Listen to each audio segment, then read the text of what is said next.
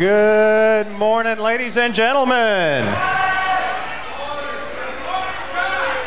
My name is John Brister. I'm an elder here at House of Grace, and I just want to take a moment to thank you for joining us here at House of Grace. There are a lot of great churches in Bleckley County, but you chose us because we feel like something special is happening right here. Some of y'all are excited to be here. Some of y'all still love your neighbor. and we love the fact that you love your neighbors. If you're a guest here at House of Grace, we want to thank you and welcome you. Uh, just to give you a little heads up on what's happening right now, first of all, your babies and toddlers are welcome to join us over in Children's Church. Uh, kids up to grade five, we're going to dismiss you guys later. You guys are welcome to stay with us for worship. As you can see, our amazing band is waiting on me to get out of the way. That's right, they're amazing. Uh, we're going to have the words on the screen so you can join us and you don't have to feel like you're awkward because you don't know this song. It's cool. Most of us don't. The words are right behind, will be right behind me as we sing. Uh, but we're going to do something a little bit different this morning because we always like doing things differently at House of Grace. So everybody stand to your feet and join me as we say a prayer over today's service. As soon as you recognize what I'm saying, join in with me. Our Father Say it with me, don't repeat me. Our Father, who art in heaven, hallowed be thy name. Thy kingdom come, thy will be done on earth as it is in heaven. Forgive us our trespasses as we forgive those who trespass against us, and lead us not into temptation, but deliver us from evil. For thine is the kingdom and the power and the glory forever and ever. Amen. Holy Spirit, take my hand now, lead me out in the living water. You're the wellspring, you're stirring, you're the life for your sons and daughters. Eyes are open to the unseen, and my faith is arising in me. So bless the Lord now, sing it out loud. Come and give the Lord his glory. You're calling me deeper, deeper still. You're calling me deeper, deeper still. So I'm going deeper, deeper still into your love because your love keeps going deeper, deeper still. You're calling me deeper, deeper still. So I'm going deeper, deeper still into your love,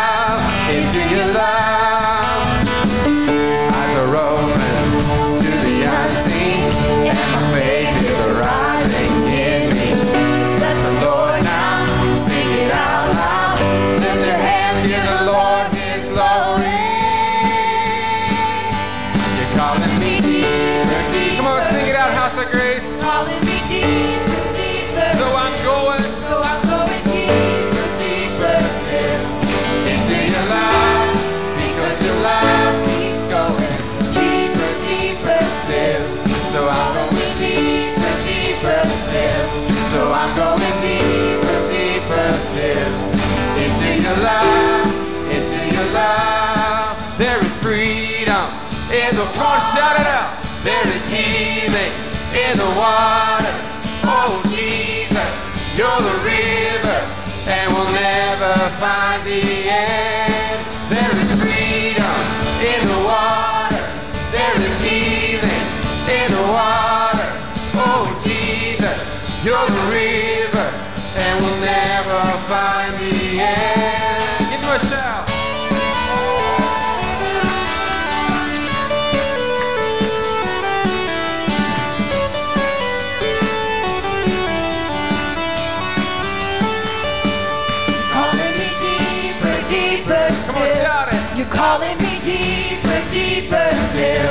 So I'm going deeper, deeper still into your love because your love keeps going deeper, deeper still. You're calling me deeper, deeper still. So I'm going deeper, deeper still into your love, into your There's love. freedom. There is you're the river, and we'll never find the end. There is freedom in the water. There is healing in the water. Oh, Jesus, you're the river, and we'll never find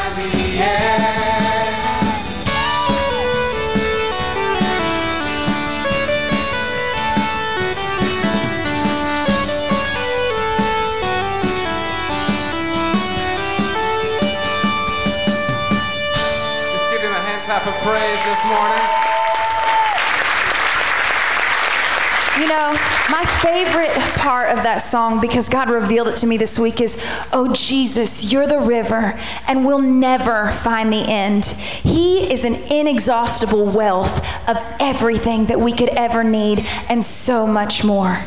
He has an inexhaustible wealth of love for us, through our mistakes, our mishaps, our pasts, and our presents, and our future mistakes because we're still human and we're still breathing. So he has an inexhaustible wealth. Let's go deeper.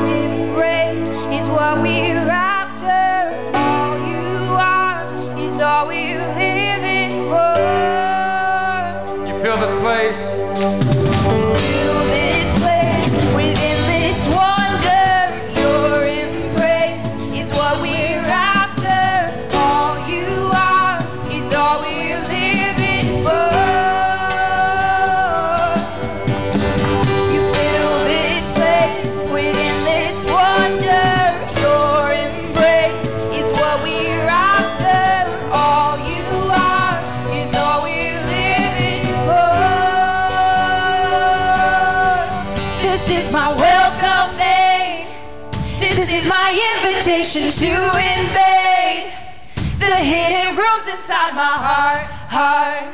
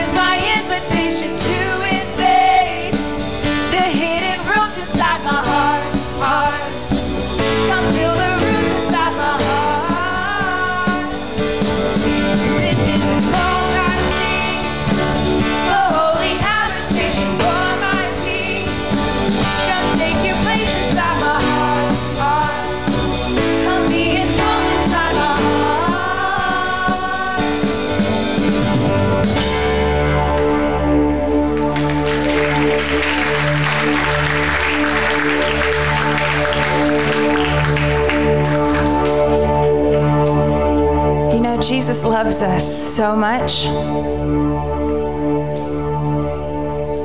But the way to access and tap into all that He has for us is to let Him be enthroned. Not, Jesus, come in and look what I've done. Jesus, come in and look what I've got going on. Jesus, come in and, and look at my acts of obedience and service to you in this area and this area. But Jesus, come in. I don't have a red carpet, but all I have is yours. I may not have an ornate throne, but you can have my favorite seat. You can have the best spot. Hmm. This is my welcoming. This is my invitation to invade the hidden rooms inside my heart. Heart, take your place inside my heart. This is the song I sing, a holy habitation for my King. Come take your place inside my heart, heart. Come be enthroned inside my heart. You fill this place with endless wonder. Your embrace is what we're after, and all you are is all I'm living for. You fill this place with endless wonder, and your embrace is what we're after. All you are is all we're living for. You fill this place, God. You fill this place with endless wonder, and your embrace is what we're after, and all you are is all we're living for. This is my welcoming. This is my invitation to invade the hidden rooms inside my heart. Heart, come fill the rooms inside my heart. This is the song I sing, a holy habitation to my King. Come take your place inside my heart, heart.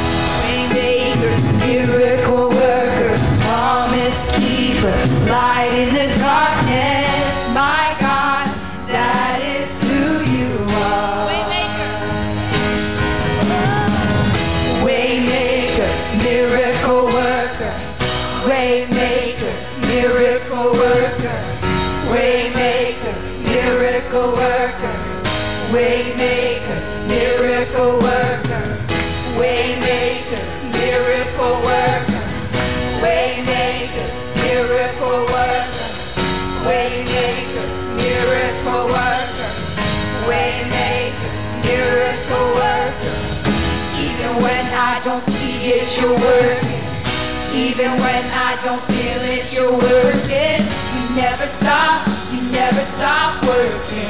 You never stop, you never stop working. Even when I don't see it, you're working. Even when I don't feel it, you're working. You never stop, you never stop working. You never stop, you never stop working. Even when I don't see it, you're working. Even when I makes You're working. You never stop, you never stop working. You never stop.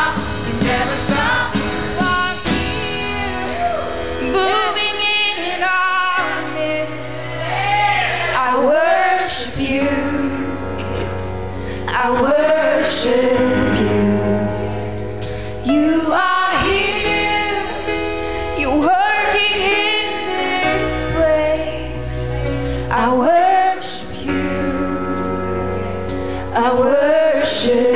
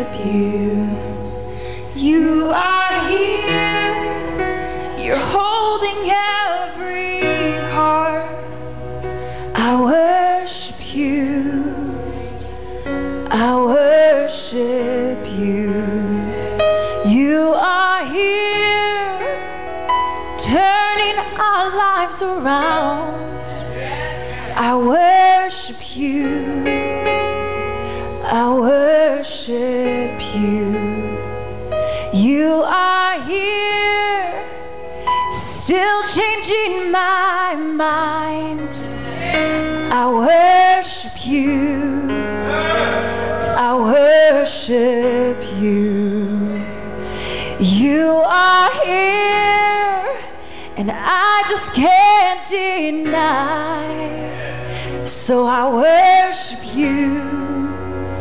I worship you.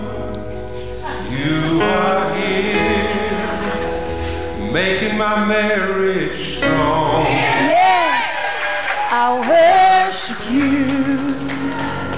I worship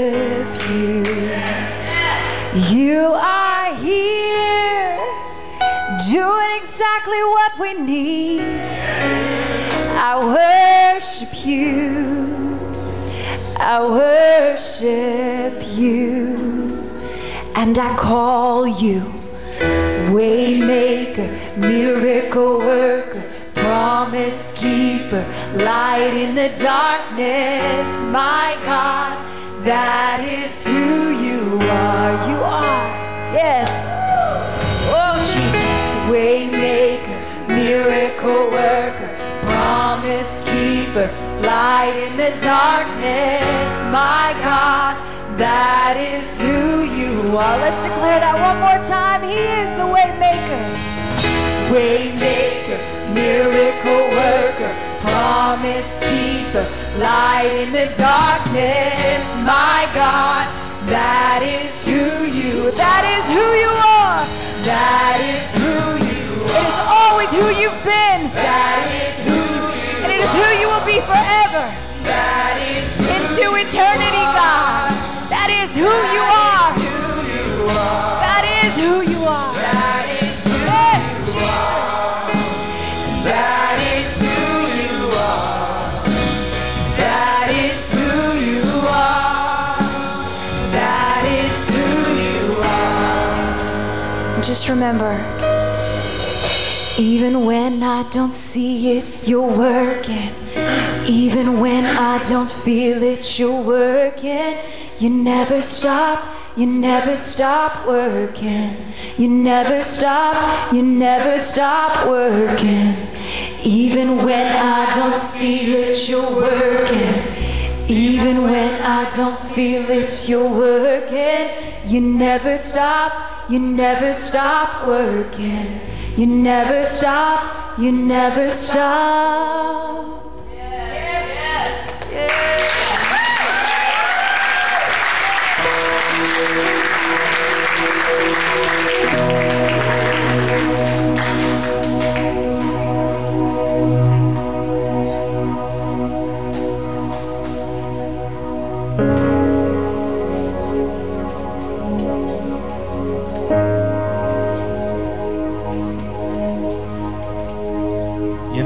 Sometimes worship is brings elation and joy and excitement. Sometimes worship wants to take us to a deep place. A man, James Elliot said, "He is no fool who gives up what he cannot keep to gain what he cannot lose."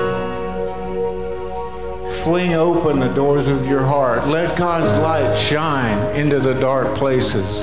There are dark places in our hearts and in our minds, and God wants you to open that door. The key to opening the doors of your heart is confession. Confess your sins to God. Let Him in. Let the light of God come into your heart and set you free, and you'll be free to worship indeed.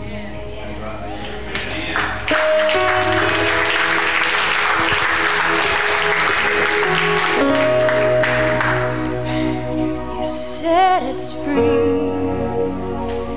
You set us free. Oh Lord, we need you every breath. You set us free. You set us free.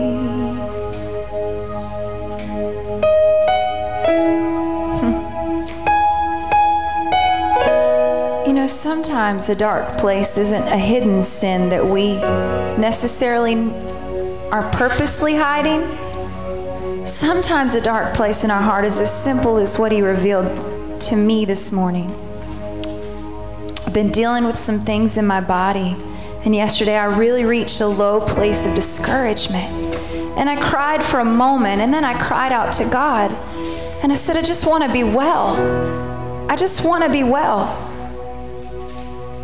my body didn't change, and it still hasn't yet. But this morning, as I continue to take the medication, I paused and I said, God, I had to wait till I'm in it. I said, God, I want you more than I want to be well. He wants us to be well. But he revealed a dark place in my heart that I had been seeking him for wellness, not for him. I had been seeking him for what he had to offer, but he's already given me everything. So sometimes we don't even realize. It doesn't mean you've got some hidden dark. Maybe it's something that you don't even realize that's keeping you from all that God has for you. He's here. And if you're His child, He's with you everywhere you go, like it or not, because He's the best daddy in the world. He is a good, good father. He is a good, good lover of our soul. He has our best interest at heart at all times.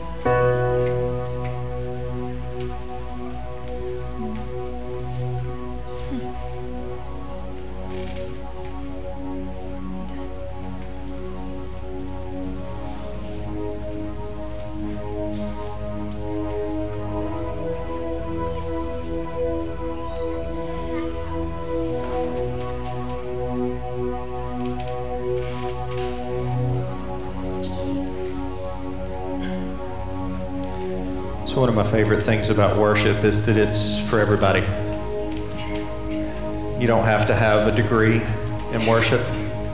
You don't have to have a certain amount of experience or a certain level of expertise. If you're saved today, you can worship. And that's at House of Grace, we, we kind of have a, a phrase that Pastor Joey has coined as the all skate. We're all in. Every one of us can participate in it. You guys can have a seat. Thank you, Praise Band. You guys are amazing. Somebody give it up for the Praise Band.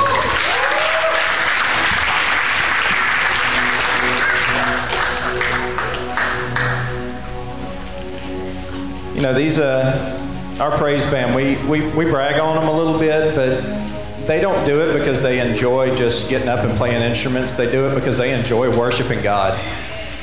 And it really shows, doesn't it? That they don't just come up here and perform. They, they just get up and worship, and y'all get to join them.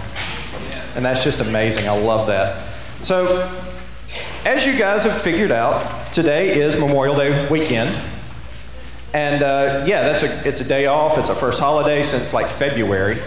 Um, and a lot of us are grilling, a lot of us are sunburnt because we spent too much time at the pool yesterday. Um, but let's not forget that Memorial Day actually has a meaning. There's something behind that. It's not just an excuse to grill out. Memorial Day is a day, a holiday, that our nation set aside as a special place to remember people who died with an act of service to bring us the freedom to grill out on the weekends. And I just want to take an opportunity. Today is not about veterans, that's Veterans Day. This is about the people who have lost their life in service to our country. So if you have lost someone, a loved one, a friend, a relative, a guy you were deployed with 200 years ago, if you've lost anybody in active duty, I'd like for you to stand up for just a second. Not because we're honoring you, but we're remembering the people that you're remembering today. Amen? So, guys, let's just everybody stand up and let's give a big round of applause to everyone who has ever helped our country.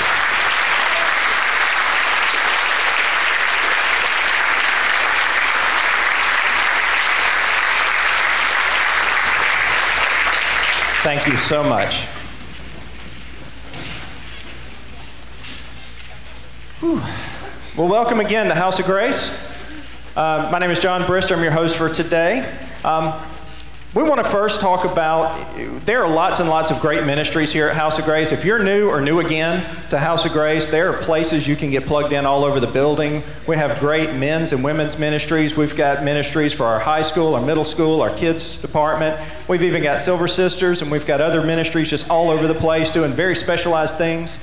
But we also have a lot of fun things going on for everybody. You don't have to sign up ahead of time. You can just show up and have a great time with it. And probably one of the biggest things that we do is our first Sunday prayer, which is next weekend, the first Sunday of the month. Go figure. It's funny how that happens. We, we do that as our sunrise prayer. And you guys have been here on the first Sunday of the month, like for service, and you've seen the results of what these guys have been plowing through the morning, the morning of, right? So this is an opportunity. Everybody, if, if you have a pulse, check. Do you have a pulse? You have a pulse. You can participate in sunrise prayer. 9 a.m. right here at House of Grace. It's back there in this room over here, but if you don't know where that room is, that's cool. We'll show you. Amen. Um, another great fun thing that we can do as everybody is uh, this Tuesday is opening day for our softball season.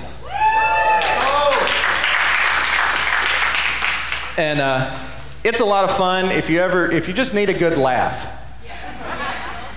You've come to the right place. If you just, if you just really enjoy like belly laughter, just wait till I get up to bat. Um, it, it, it gets pretty ugly at that point, but um, we have a lot of fun. We get to do that as a family. Somebody say family. family. Because look around, we're family. Even if this is your first week, welcome to the family. Because uh, I, I had a coworker who came and he, he was in Warner Robins, so he wasn't going to drive all the way to Cochran like every day and stuff like that, you know, even though we drive up there to go to work, but that's a different story.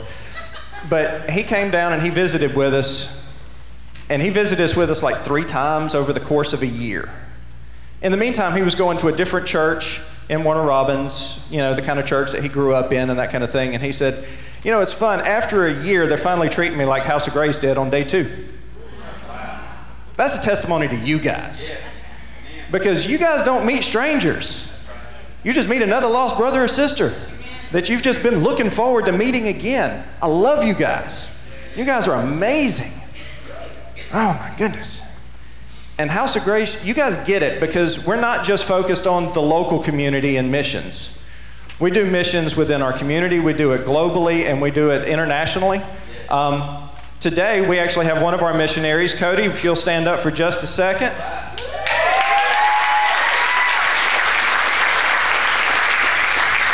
Cody's my personal favorite missionary because he lived with me for a little while. You know, I'm a little biased in that. Um, but Cody is joining us uh, from YWAM in Colorado Springs. We're going to hear a lot about what he's got going on on Wednesday. He's going to have a special opportunity to speak to us. So if you're interested in what's going on in his life, come Wednesday, but also come see him after service because he's got appointments that he's scheduling to meet up with you guys and have dinner with you because um, he likes to eat. Um, ushers, if y'all will go ahead and come forward, we're going to collect our tithes and offerings. But so when we're talking about international missions and, and missions in general, I was just pondering on John 3:16. You know, that's the verse everybody memorizes like first. It's everywhere. You know, you can have a you can have a, a piece of scripture that you repeat so many times it loses meaning. But then there are times when you just have to meditate on that and chew it for a little while and just let it stir inside of you, and you'll see new things in old scriptures. That's why it's a living word of God, right? So God so loved the world. That one little piece just rocked me this week. And, and I'm just, I'm working at the base. I'm just sitting at my keyboard, just typing away. And God so loved the world. It's like, every once in a while you'll read a scripture and there'll be new words that are bolded to you. It's not really bolded, but it's bolded. And that, the world. He could have just, so God so loved the Jews that he gave his only begotten. No. God so loved the guys. No. God so loved his disciples. No, not quite. He loved the world.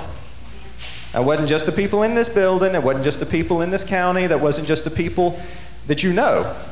He loved the world. Are we getting the world? And so that's why I'm so glad that we belong to a house that believes in missions everywhere locally, nationally, globally. And we, we support missionaries like Cody and several others, Bill Otten, Laura Roth, that are all over the world spreading the gospel for Jesus. And I'm glad that you guys are able to participate and partner in that. I would encourage you to partner with missionaries on your own, but we're doing that corporately as well. Amen? So, Father God, we thank you for good ground. We thank you that you have given us an opportunity to participate with you in our community, nationally and globally. We thank you that you choose to partner with us. We thank you for your love and we thank you for your provision. In Jesus' name, amen.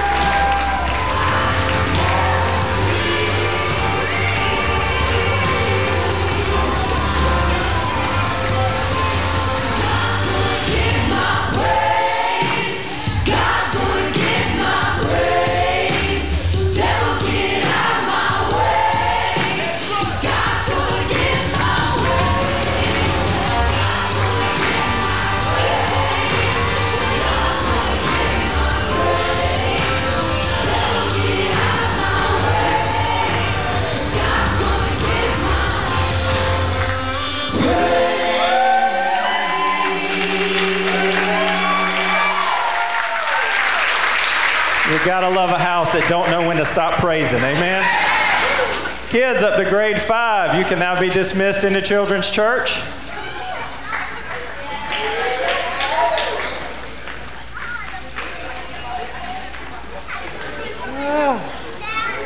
Y'all just won't behave.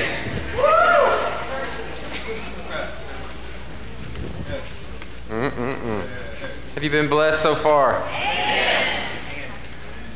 In case you were wondering, what's the name of that song?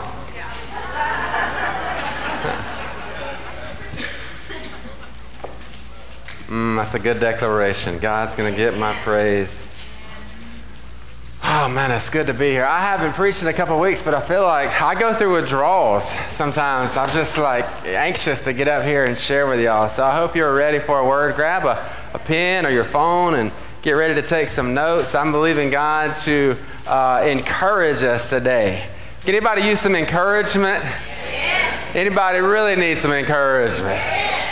Good, good. And I'm encouraged that you're here and we continue to learn about more and more people who are watching us online. So if you're watching us online, we're just blown away. We're just blown away that you would join us this morning. We've had people from different states all over the country who are joining in, and people are telling their friends.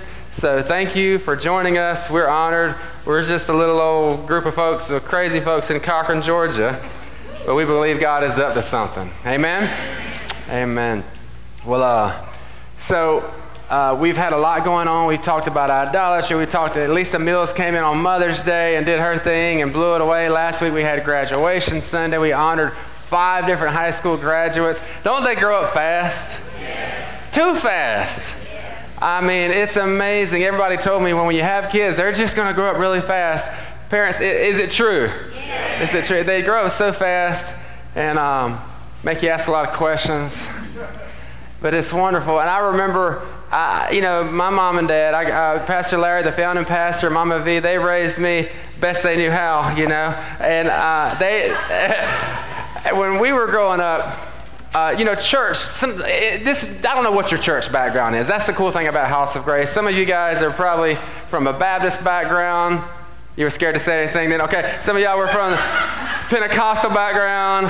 Yeah, I knew y'all were going to be like that. And, and we got Catholics, we got Lutherans, we got folks who said, I didn't even go to church. And, uh, well, whatever your background is, you're, you're welcome here. We're glad you're here. Um, but I grew up um, when I was a little kid at two different types of churches. One, a lot of times we were in a church like this, a non-denominational church. It was a little rowdy, and then, but we also had some time where we spent in a, a great Southern Baptist church. My dad started out as a Southern Baptist pastor, and those are our roots, and um, and I just value that. But I remember we did this thing called Sunday school. Anybody remember Sunday school?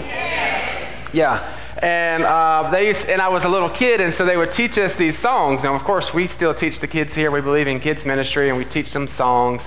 But I remembered a, a, a song that um, was began to teach me about the love of God when I was like this high. And mom and daddy taught me songs too. I encourage you, even if you can't sing, sing songs with your kids. Teach them the word through song. And we had this song that was, Yes, Jesus loves me. Y'all remember that? Yes, Jesus loves me. Yes, Jesus loves me. Why? For the Bible tells me so. Yeah. That was a good one, wasn't it? Sometimes you just need to ride around your car and sing some old kid songs. And then I have one of my personal favorites that said, Red and yellow, black and white, they are precious in His sight. Jesus children. That's our heartbeat at House of Grace. Red and yellow, black and white, we're all precious in his sight. Amen? But I had this other song that related to this message, and I, I don't know if it was common everywhere. I don't even know uh, if you've heard of it, but you need to hear it. And the Lord just kept spinning this, this song around in my head that I learned when I was probably three or four years old.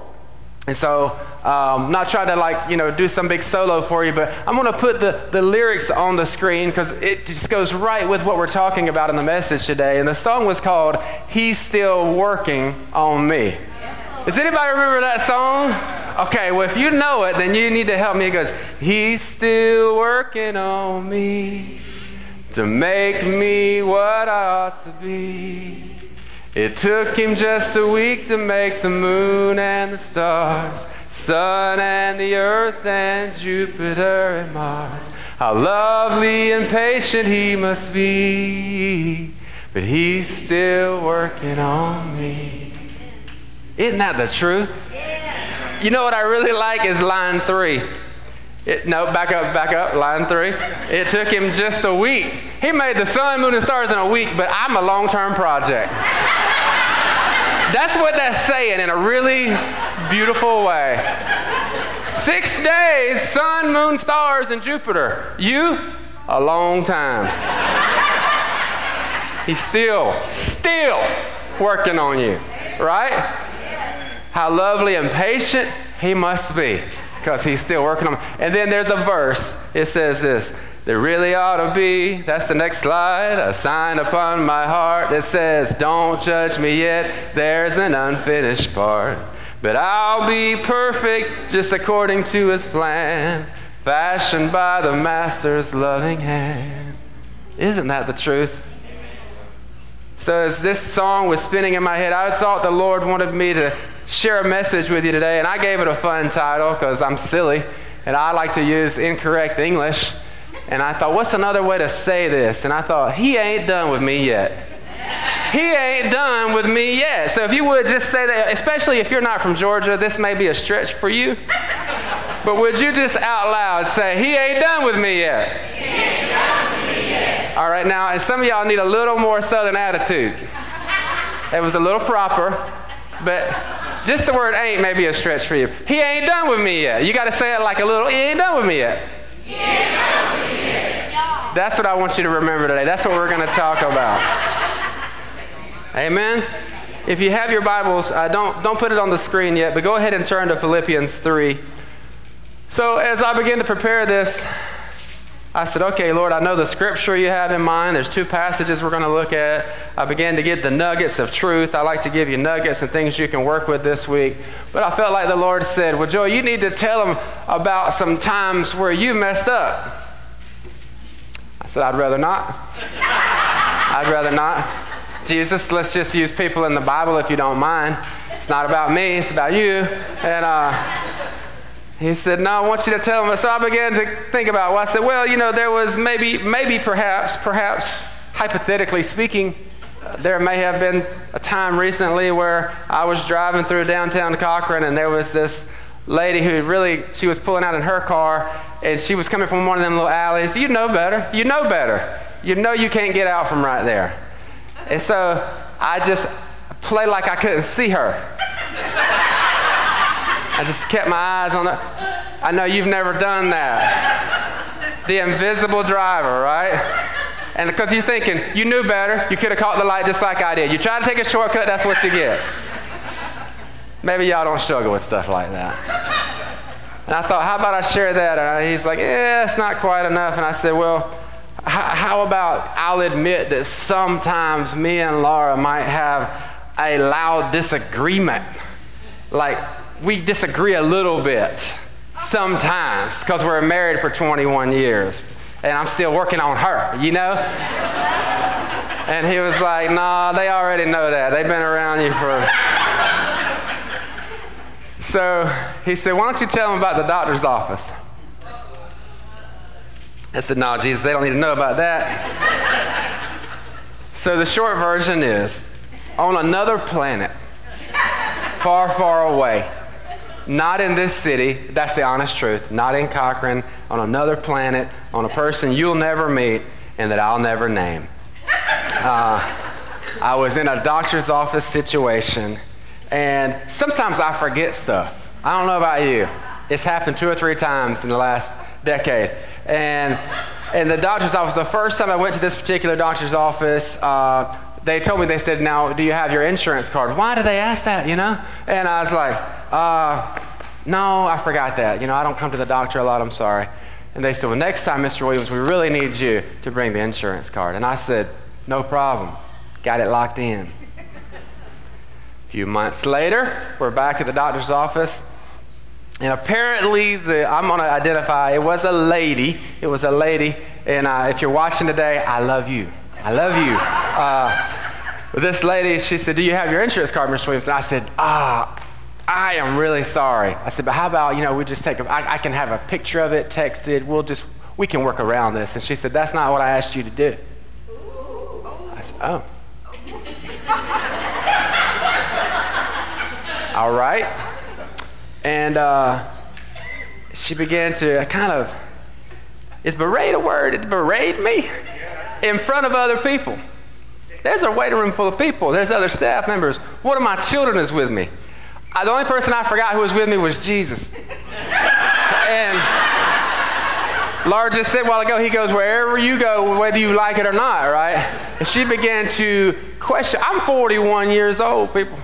And she said, Well, why didn't you bring it? Jesus, Jesus, Jesus. By that time, I'd have forgot I was saved. I had then got upset. I did. Here's what Riley says happened. Riley says, I took my glasses off and I, off and I leaned across her counter and I said, Why do you think I didn't bring it?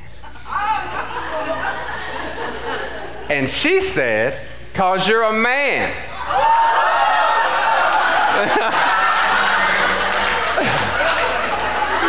You can't make this up. At that point, I had a choice to make. Either I'm going to jail or I get to keep pastoring House of Grace. But I was upset, and so there were a few more words exchanged. And I explained to her that she was being unkind. I didn't use that word. I told her she was rude and that she was mean. I did not cuss her because I'm not where I used to be. I just ain't where I'm supposed to be. you know what I'm saying? Anybody relate to that? And so we had some words. We sorted it out. We communicated clear expectations with one another. And by the time we left, she, she actually made a point to speak to me and say, Mr. Williams, sorry I was mean to you. I'm mean to everybody. And I am on the inside, I said, I believe it. and we left and we got in the car, and I couldn't decide whether I had done good or bad. I just knew that I had done better than I used to would have. And I say that to, I'm not proud of everything I did in that situation, but I can tell you that I've come far, but I'm just not there yet. And so sometimes, if you thought pastors are perfect, and I, ho- I hope I didn't uh, deflate your, your bubble there, bust it, but we're just, we're just on a journey with Jesus. And we're all growing and we're all in process. And sometimes I blow it. Sometimes I miss the mark. Sometimes I mess up. Now, when I do, I go to Jesus and I'm like, Lord, sometimes I'm even crazy enough to say, Jesus, if you'll give me another chance, I believe I could honor you better in that situation. And that, that's when I really feel courageous. Other times I'm like, Jesus, please don't ever put me in that situation again because I don't want to embarrass you. Uh, but I am in process and he ain't done with me yet. But I just believe that maybe that may, story might make you go, well, I'm going to be all right. If the pastor about lost it at the doctor's office, I'm going to be okay. You know what I'm saying? Look at your neighbor and say, he ain't done with me yet. I want to look at this text in Philippians chapter 3.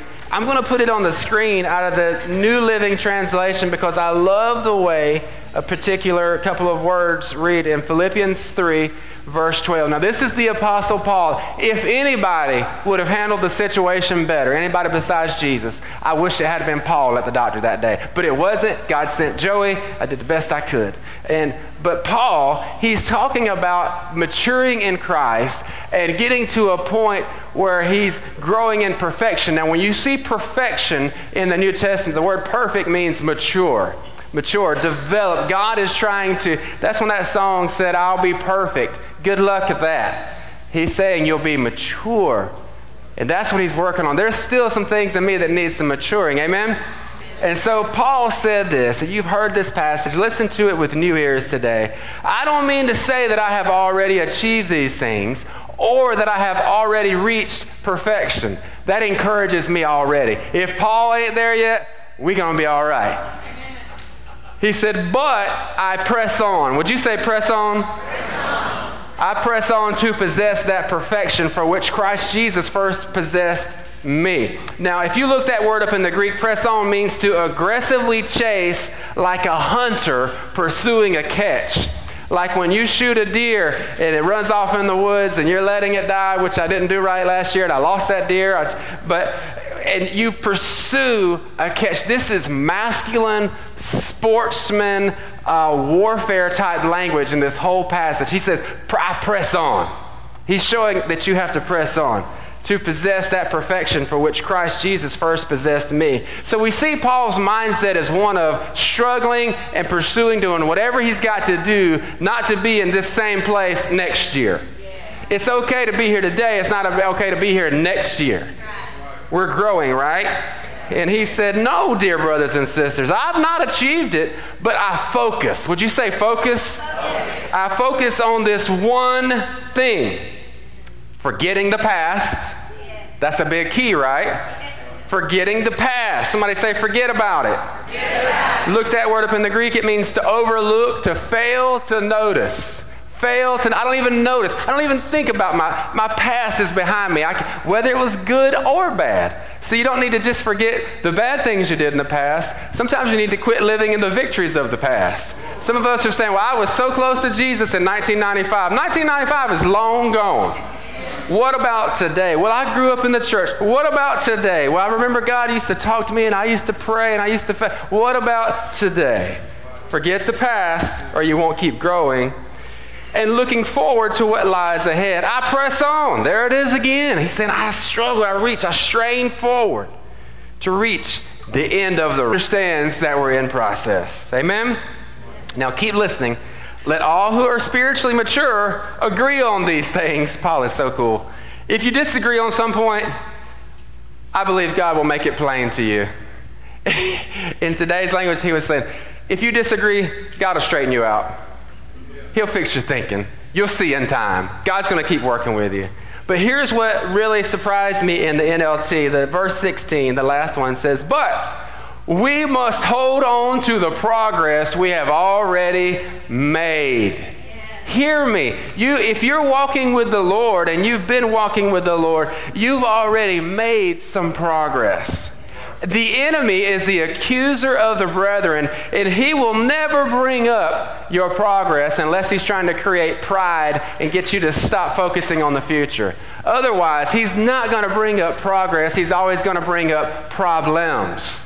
He's going to show you failures where you didn't quite. He's going to say, What about the doctor's office lady? What are you doing up there talking? You don't deserve. You're not worthy. They, if they really find out who you are, if they find out about your past, they won't let you sing on the praise team. They won't let you be an usher. If they find out the truth about you, it's going to be bad. You know what? That's the enemy.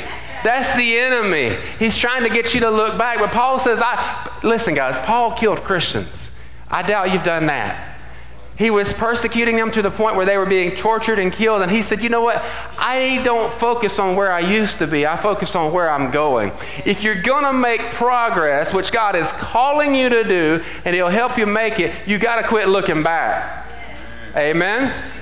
But we must hold on to the progress we have already made. The devil is a progress stealer. Amen? And then I'd like to show you in, um, well, in, in Philippians 1 6, I don't know if I put that one on the screen, Chief, but let me just show you that. Philippians, feel like you need to hear that one. It took Philippians out of my Bible for a second there. Okay, Philippians 1 6 says this Being confident of this very thing, that he who has began a good work in you will complete it until the day of Jesus Christ. God is going to continue the good work that He started in us as long as we allow Him and partner with Him to do so and submit so that He can work this thing out. He's going, how long is it going to take till Jesus comes?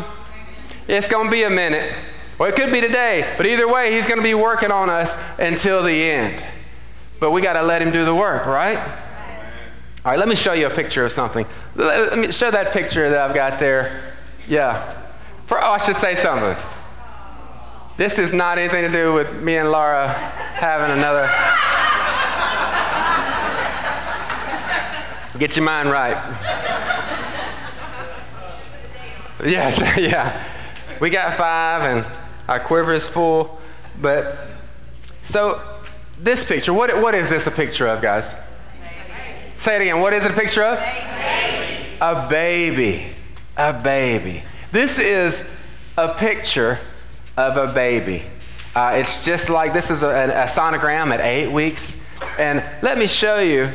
Riley, would you come here for a second? This is one of my babies. Come on up here, babe. Okay. Now, the first picture I saw of Riley looked just like that. Now, what is the difference between that Riley and this Riley? Time and development. Time and development. But everything you see right here is in that picture.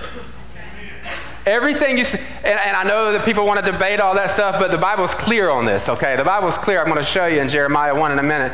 But everything you see here, you see it there, you see it, but you can't see it because it hasn't been developed yet. But the potential and the seed and the plan of God for her body and for everything that you see is right there in that photo. But it's hidden from you because it hasn't been worked out. There are things in you that God, when the Holy Spirit comes inside of you and you're born again and you're a follower of Christ, He places Himself in you. And everything that He needs, everything that you're supposed to be, everything that you're called to become, He has placed it in you because He placed Himself in you. It just needs some time to develop. It just needs to be worked out. You may be seated. Thank you. She's beautiful. You think she looks like me and her mama.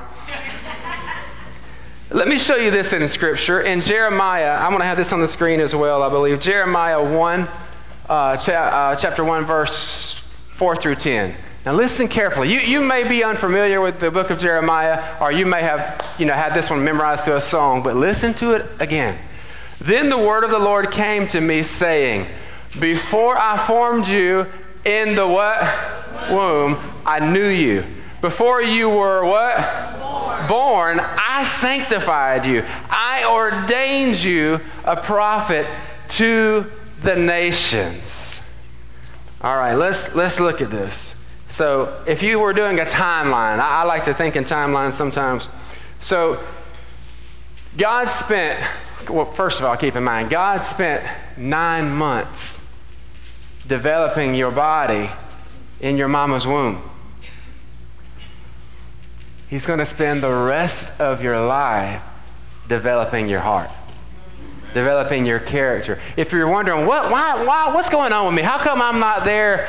Well, God's still working with you. He ain't done with you yet. But if you think through the timeline, what I'm seeing is first thing that happened, the, this is how you got here. This, listen, listen, listen. This is how you got here. According to the scripture, the first thing that happened was God thought of you. Don't know if you just heard that. The God of the universe thought of you. I didn't say he thought about you, he thought of you. You need to chew on that at lunch.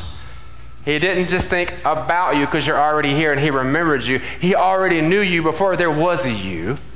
He thought of you. His thought was the first thing that ever happened to make you happen.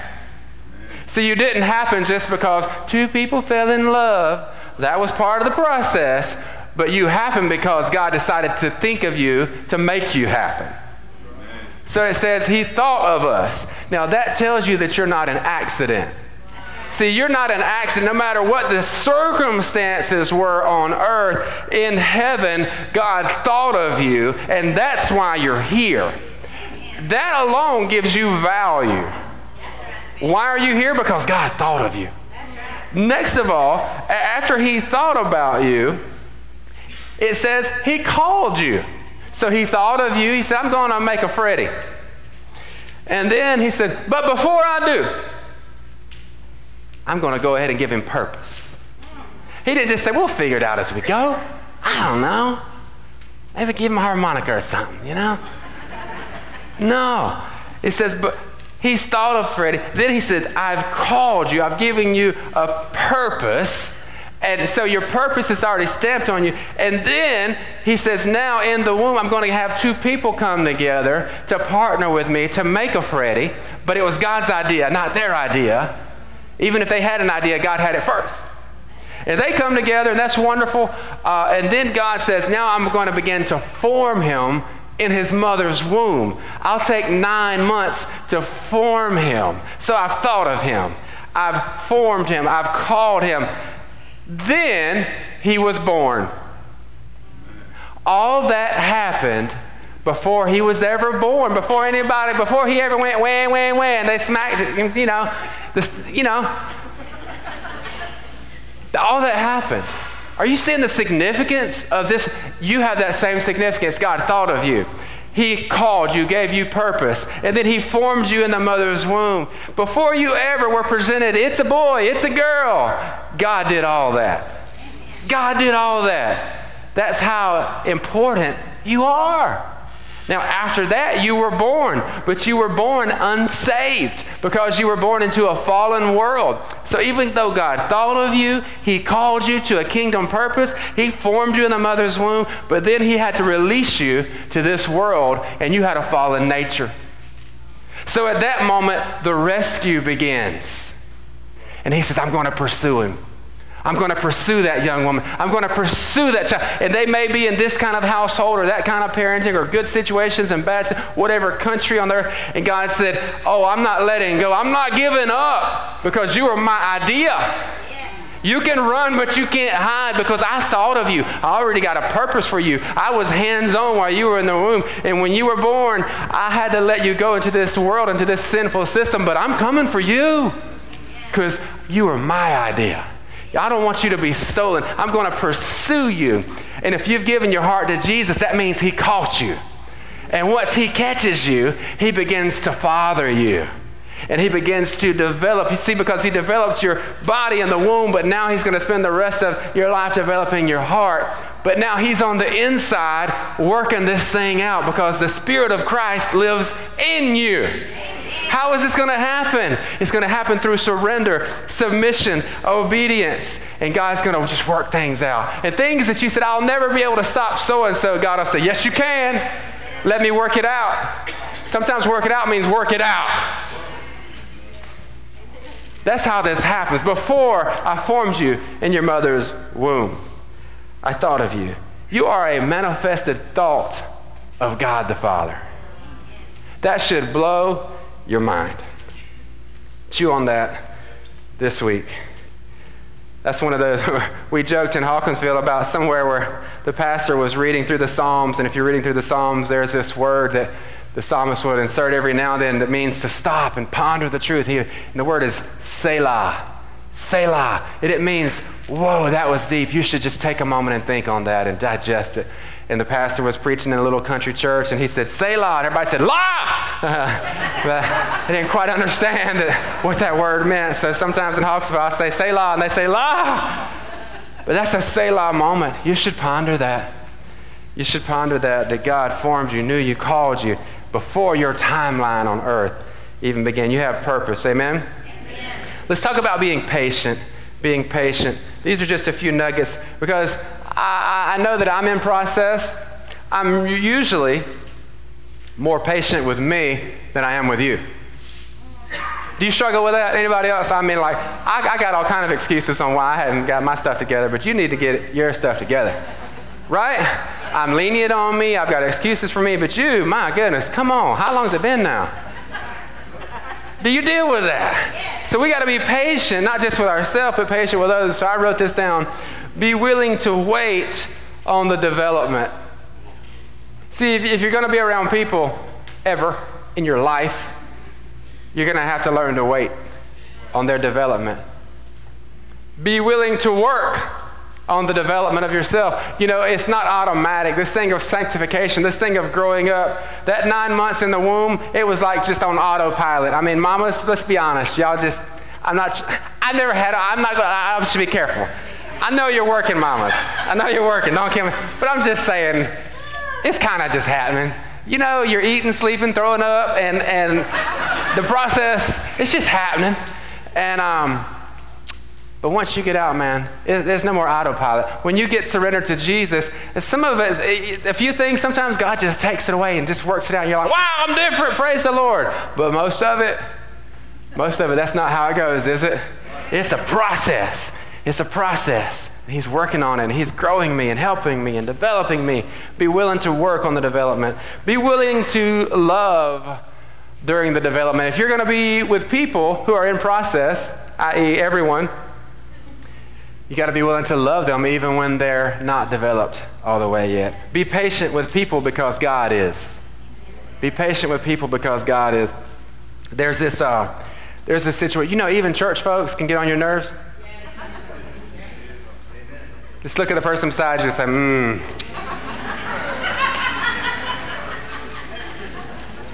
There's this scripture in the Bible. You might not know about this one. Check this out. In Acts chapter 15, I hope I did this one. Did I do this one too? If I can't remember. Acts chapter 15? Is there one of those? If didn't, I'll read it to you. Check this out. In Acts chapter 15, y'all have heard of Paul, right? He's the guy. 13 books in the New Testament, kind of got it going on. He's an apostle. He takes these different guys to partner with him on these missionary journeys. In Acts chapter 15, verse 36, okay, there's a little drama. I know you've never seen drama in the church, but in the Bible, they had a little bit. Then, after some days, Paul said to Barnabas, that's his right hand guy, Let us now go back and visit our brethren in every city where we have preached the word of the Lord and see how they are doing. So they've done missionary trips. And now he's like, hey, let's go check on all the churches we planted and see how they're doing and encourage them. And Barnabas was determined to take with them John called Mark. And, um, but Paul insisted that they should not take them. Do we have that? Okay, yeah, let me read it out of this version on the screen. But Paul thought best not to take with them one who had withdrawn from them in Pamphylia and had not gone with them to the work. And there was a sharp disagreement. What kind of disagreement? So that they separated from each other. Barnabas took Mark with him and sailed away to Cyprus. But Paul chose Silas and departed, having been commended by the brothers to the grace of the Lord. All right, so here's what went down. Previously, Paul, Barnabas, they had taken John Mark on this missionary trip with them, and not long into it, John Mark's, we don't know all the details, but John Mark said, You know what, guys? I'm going back home. Paul was like, You're doing what? You know, what, are you not committed to this? Uh, what's the problem? And so they, we, we, speculate, but we know there was tension. John Mark went home. Paul, Paul goes on on the mission. And so years go by, or time goes by, and Paul said, Barnabas, let's go back and check on our churches. And Barnabas, what does Barnabas' name mean, by the way, if you know? Son of encouragement. The name Barnabas means son of encouragement. So you got Paul the practical and son of encouragement trying to decide who to take with him on the trip. And he says, You know what? I know John Mark kind of blew it last time, but let's give him another chance. I mean, come on. Paul said, Give him another chance. Send the boy to the house. Barnabas said, Well, come on, no, seriously. And Paul and Barnabas disagreed. Now, nobody slapped each other or cussed each other or anything like that, but they had a sharp disagreement to the point where Paul said, If you want him that bad, you take him. And Barnabas said, I will. I don't know if he did his neck like that, but I just insert that in because that's how I would have done it. And, and so he said, Fine, fine, bye, bye. And then Paul takes Silas and Barnabas takes John Mark. So if Paul and Barnabas had a situation where they had somebody who was in progress that wasn't quite making it yet to their level of expectation, and they actually had a disagreement. What I'm saying is there's going to be situations in your life where you're going to have to decide am I going to be the Paul or be the Barnabas? And there's times for both. Neither one was rebuked by the scripture. In fact, the, the story follows Paul. Uh, But I'm saying there are times when you need to be a Barnabas and say, you know what, I know they're not there yet, but he ain't done with them yet. He ain't done. I'm going to choose to be patient with them. Can I get an amen for that? Like somebody needed it. And so it's cool though in 2 Timothy how this how this came back around. 2 Timothy chapter 4. Here's how this happened later, okay? 2 Timothy 4, uh, 9 through 11. 2 Timothy 4, verse 9 through 11. Did I do that one? Okay, no. So Paul's writing Timothy a letter telling him to bring some people to help Paul out. This is years down the road, okay? Be diligent to come to me quickly, for Demas has forsaken me, having loved this present world and has departed for Thessalonica. Crescens for Galatia, Titus for Dal- Dalmatia. Only Luke is with me. Get Mark. Who, Paul? Who did you want, Paul? Get Mark and bring him with you, for he is what? Useful to me for ministry. Okay, just a few years earlier, Paul's like, I'm done with him. And Barnabas says, No, let's give him another chance. He's, God ain't done with him yet. Paul said, You take him, you do it. But now, down the road, Paul's in, you know, writing Timothy and saying, Bring this and bring that. He said, But specifically, I want to ask for somebody John Mark. The one that I had given up on is the one who would be most helpful to me in ministry. That's hope for me and you, right? I've been uh, John Mark. I've turned too early. I've quit on people I've let God down. But because somebody was willing to say, he, they, God ain't done with him yet. Then later down the road, they say, you know what, that guy right there. Sometimes it's about season and development and going through the process. If we could understand that God's working us from glory to glory and season to season, and so is He with other people. Amen? So let me flip this coin over and then I'll, I'll close it. But so we're talking about being patient with ourselves, being patient with other people. They're in process. However, however, um, there is a flip side to this. It, it, I got to balance it out. I just felt like this morning the Lord said, make sure you, you flip that coin over and balance out and explain there are boundaries.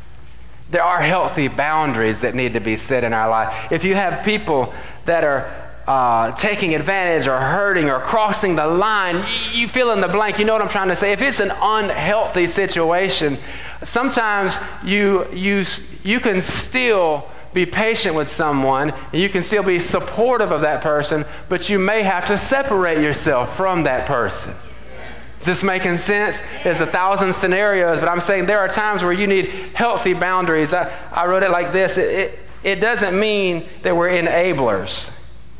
And, and you can separate and still support sometimes. But what you don't do, what you don't do, I would write this down don't gossip about them. Yes. Selah. Hmm. You ain't got to put it on Facebook. Well, I just had to separate. I won't name no names, but I just had. Sometimes you just got to pull back from people. Everybody knows you're talking about. Oh, I didn't name any names. Why'd you say anything? Because you wanted attention. Selah. Don't gossip. Don't get offended. Don't get offended and don't give up on people. Sometimes we may have to separate from a situation and put healthy boundaries in place, but we still can't talk bad about them. We still can't get offended in our own heart and let the root of bitterness come in, and we still can't give up on them. Now, that may mean they don't get to keep slapping me in the face, but I'm still going to be praying for God's best. I'm not going to give up because I don't have the right to give up on them but I still might have to have boundaries. Is that making sense? Yes. I hope so. I hope that makes sense. You got to love people in their process. Um, if you look at our floors, does anybody notice that the floors are different this week than last week? They are. Um, you're like, really? Wow. Uh, but they actually are. Um, see, at first we had the old carpet that needed to be removed. Its season was up and it was damaged and stained. And we, we took that carpet up and then I wanted it to be like one Sunday, and then y'all would see an ugly floor, and the very next Sunday, y'all would all go, Whoa, look at that. But it didn't work out like that.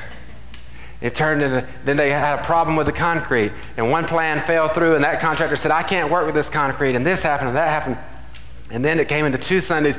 Sometimes there are things in your life where you think, this is going to be quick, man. God's just going to do this quick. It's going to be so cool. It's going to be quick, and it's going to be awesome, and we're just going to give him all the glory. I can't wait to testify. Well, you might have to just get comfortable for me. It might take a minute for God to do some renovation in your heart and in your life and in your family and in your work situation.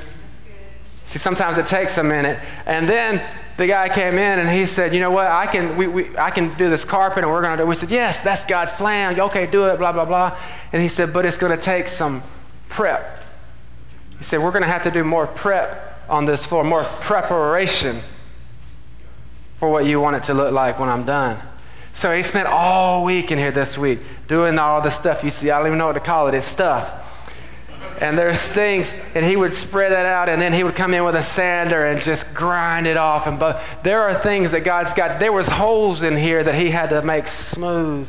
There's things in your life. There's things in your heart. There's wounds from the past. There's some insecurity. There's some stuff that God's like, we're to get there, but it's to be a process.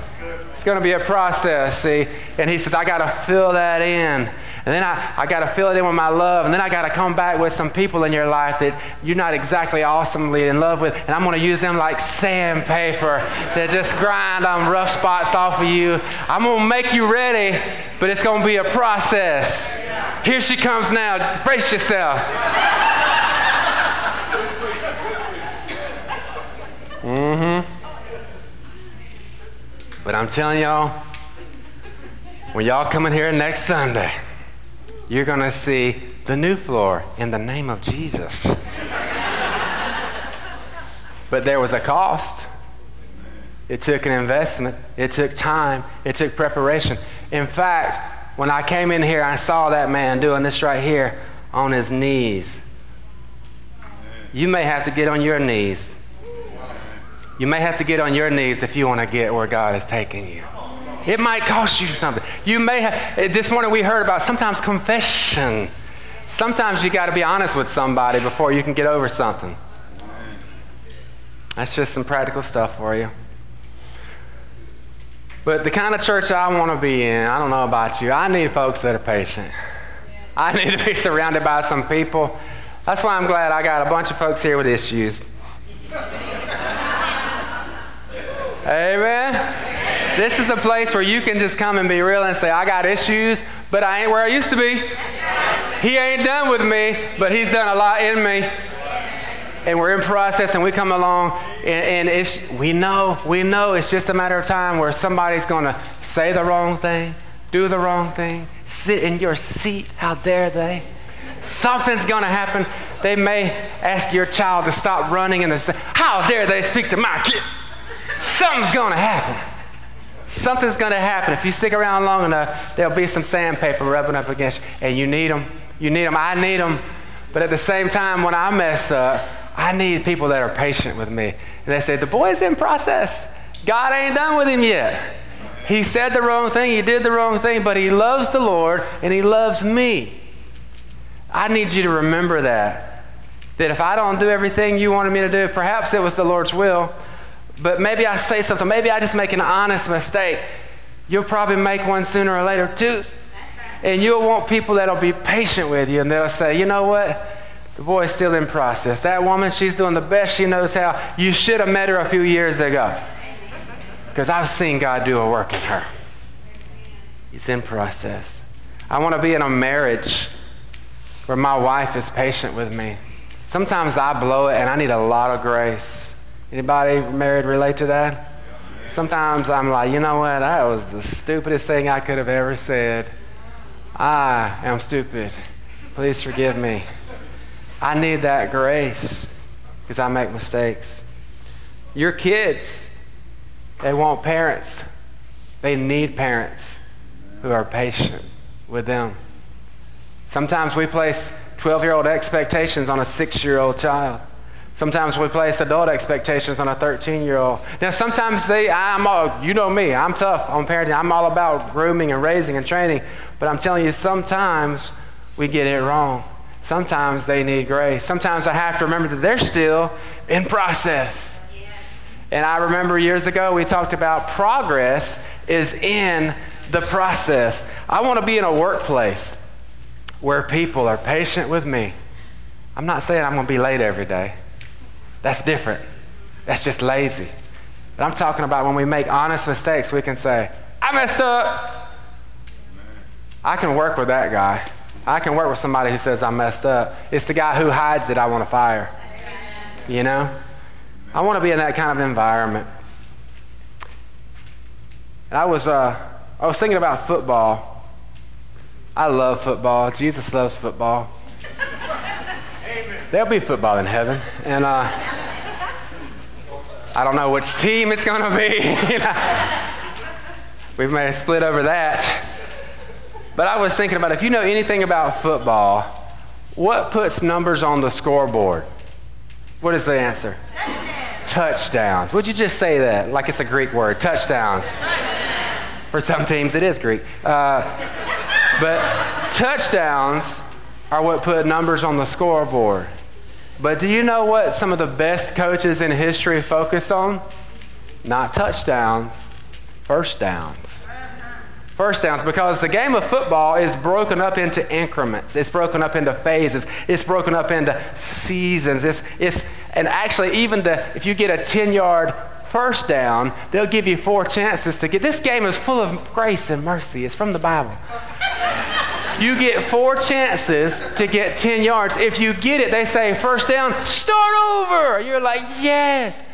All right, all you got to do is keep getting first downs if you just did it 10 times, you'll get a touchdown. It will automatically happen. And great coaches focus on the fundamentals that produce first downs because they know touchdowns are a result of first downs. And even the first down, you got 10 yards to get it, you got four chances. I didn't go to you know, college for math or anything, but I'm pretty sure if you divide 10 by four, two and a half yards. Let's get crazy and go for three. I can fall three yards on accident, you know? now, not if people are tackling me, but three yards. I mean, what, that maybe? All you got to do is get three yards every time, and you'll score a first down. What am I trying to say? Just a little bit of progress. Just a little bit of progress. Sometimes you're mad at yourself because you keep trying to throw the ball 40 yards. How about just fall forward three yards every day? Just say, you know what, I'm not going to read my Bible for two hours tomorrow because I haven't read it in two months, but I will read it for five minutes. I haven't prayed in two weeks, so I'm not going to say that I'm praying and fasting eight meals this week. But how do I start on my lunch break while I eat my sandwich? I start praying for somebody. Maybe I make a start somewhere and start getting three yard gains. And when you start getting three yard gains, before long you'll say, ah, I got a first down. I got a first down. And the team's over there, yes, yes. And you know what? You need to know your coach, your heavenly father, he's not over there going, well, that wasn't a big enough gain. He was going, that's my boy. That's my girl. Three yard gain. Look at him. He's out there. Take a picture of that. Three yard gain. He's got you on Instagram. Three yard. Look at my boy. Three yards, four times in a row. That's a first down. And if he keeps going, he's going to get a touchdown. He's going to get a touchdown. I'm telling you, God is so patient with us. Would you stand to your feet and let's just celebrate the goodness of God together? He is so good. Just say this He ain't done with me yet. Some of you need to work on your ain't, but I think you got the message. Mm. I can't wait to see that floor. Would you just join hands across the aisle? And we're going to pray for the person beside us. We don't know what they came in here with, but we know we, what we want them to leave with. We want them to leave encouraged, healed, knowing that they're loved, knowing that before they were even born, God thought of them and He picked a purpose for them. He called them and then He formed them before you were even on the planet, or at least out of the womb. Jesus, we pray for the person next to us. Lord, we pray that if they haven't decided to follow you as their Savior, that they would surrender their heart to you right now, that they would, just like the old song says, I have decided to follow Jesus. I pray that we would make decisions this morning, courageous decisions, not just a bailout plan, not just a 911 to heaven, but a decision to follow you, a decision to decide that you're smarter, you're better, you know more, and we want to surrender to you, whatever that means and looks like. We're willing to spend the rest of our life investing in that relationship, submitting to you as our Lord and Savior, reading the Bible, talking to you, choosing to obey your word no matter what the world tells us to do. A true follower of you is what we want to be, Jesus. Lord, we pray for healing in this house. We know that House of Grace means Bethesda, which means the healing waters. And we just declare your healing waters over this place, that there, there would be bodies that are healed, that there would be hearts that are emotionally healed, and that you would just, just place your kiss upon um, this family. We pray for protection this week. We pray for wisdom and favor. We pray safety over travels. Many people are on vacations and heading to vacations. Lord, I pray that you would keep us safe. And Lord, I also pray that we would take a vacation geographically, but not spiritually.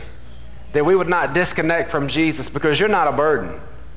You're the carrier of our burdens. If we are taking a vacation from you, then we have confused who you really are and how good you are. So, Lord, let us spend our vacations even with you, talking to you uh, and doing whatever things that you lead us to do to spend time with you and minister to you and even minister to others. I just feel like some of you need to be reminded that on your vacation, you're still a kingdom agent. And that there are people where you're going this summer that don't know Jesus. And just because you're on vacation from your job and your yard and all your responsibilities here, you are still a missionary, ordained and called by God. If you read the rest of Jeremiah 1, it says, I have called you to be a prophet to the nations. Don't be afraid of what you will say. I will put my words in your mouth. Would you give him your mouth when you're on vacation this year? Lord, we love you, we honor you, we bless you. In Jesus' name, amen. Yes, if I can have a few men help us move the chairs so we can get that carpet installed. Hey, Pat.